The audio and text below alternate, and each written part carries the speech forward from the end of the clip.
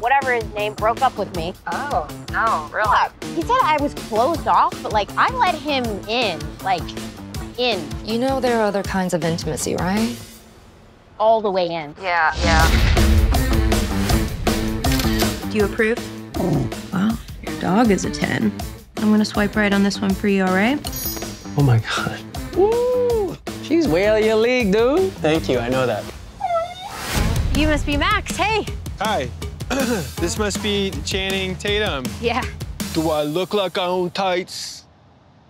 This is from Step Up. I don't know. It Doesn't matter. Well, they seem to be getting along. Oh my God! Get away from her, you monster! Oh, This is your fault. Oh my, I'm sorry. You know what? Whatever. Lose my number. Hey, what are you whining about? At least you got laid. I sense some sexual tension. Not between you, the dogs. you two are going to be grandparents. What if we, as friends, got them together just until the delivery? I mean, I guess we'll be doing it for the kids. Hey. Hey. Hey, okay, come on in. Anything else of mine you'd like to take over? Why are you freaking out? Wait, don't touch us. Jeez. Rules are how I get through the day. Oh my God! What? okay, guys, come on, dogs. Hey, Max. What?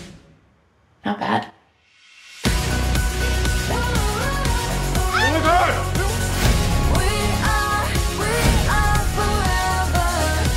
So wonderful to meet you, Max. You guys kind of seem to balance each other out.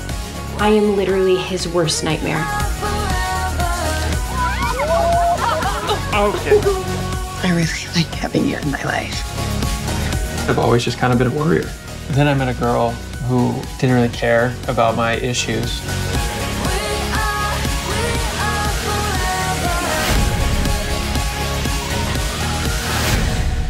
You're the two morons who got the pregnancy test for your dog? Um, Yeah, they've been laughing at you in the back for the last 10 minutes.